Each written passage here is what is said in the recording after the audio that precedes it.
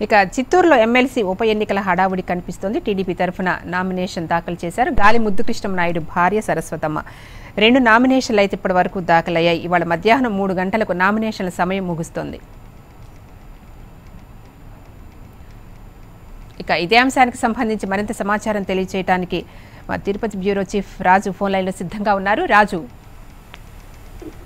Right మొత్తం మీద TDP senior నేత గాలి ముద్దుకృష్ణ నాయుడు మరణంతో ఏర్పడినటువంటి చిత్తూరు జిల్లాకు సంబంధించినటువంటి స్థానిక సంస్థల ఎమ్మెల్సీ ఉప ఎన్నికలకు సంబంధించిన షెడ్యూల్ని విడుదల చేయడం. అయితే దీనికి సంబంధించి ఇవాళ మధ్యాహ్నం మూడు గంటలకు ఏదైతే నామినేషన్ల ప్రక్రియ ముగియబోతోంది మరి ఈ నేపథ్యంలోనే ఆ టీడీపీ నేత గాలి ముద్దుకృష్ణ నాయుడు భార్య గాలి సరస్వతమ్మ ప్రస్తుతానికి ఈ స్థానం నుంచి పోటీ చేస్తూ చేసేందుకు గత కొద్దిసేపు క్రితం మూడు సెట్ల నామినేషన్ కూడా దాఖలు చేయడం జరిగింది. అయితే మధ్యాహ్నం మూడు గంటల సమయం మించిపోయేటువంటి అవకాశాలు ఉన్నటువంటి నేపథ్యంలో ఇప్పటి వరకు కేవలం రెండు నామినేషన్లు మాత్రమే దాఖలైన పరిస్థితి. అయితే మరోపక్క తెలుగుదేశం పార్టీ శ్రేణులని కూడా ఎన్నికలను ఎలాగైనా సరే ఏదైతే ఇనానమస్ చేయాలని కూడా భావిస్తూ ఉన్నటువంటి పరిస్థితి కనిపిస్తుంది. మరి ఈ నేపథ్యంలో ముఖ్యంగా మే ఇరవై ఒకటో తేదీన పోలింగ్ అలాగే మే ఇరవై నాలుగో తేదీన ఎమ్మెల్సీ ఎన్నికలకు సంబంధించినటువంటి ఫలితాన్ని వెల్లడించబోతున్నారు. అయితే మొత్తానికి గాలి ముద్దుకృష్ణ నాయుడు మరణంతో ఏర్పడినటువంటి స్థానానికి ప్రస్తుతానికి ఎన్నికల హడావుడి అయితే మొదలైందని చెప్పుకోవచ్చు. అయితే మరోపక్క తెలుగుదేశం పార్టీకి సంబంధించినటువంటి నాయకులు అలాగే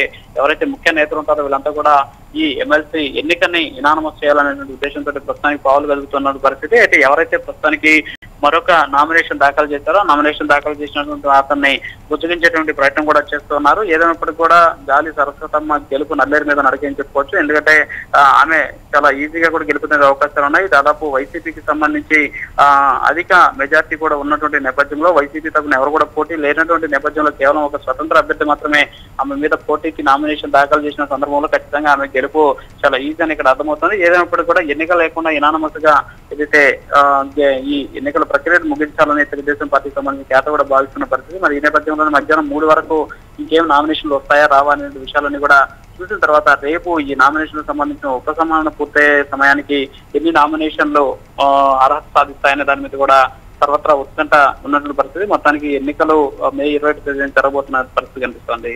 Padmalatha right thank you Raju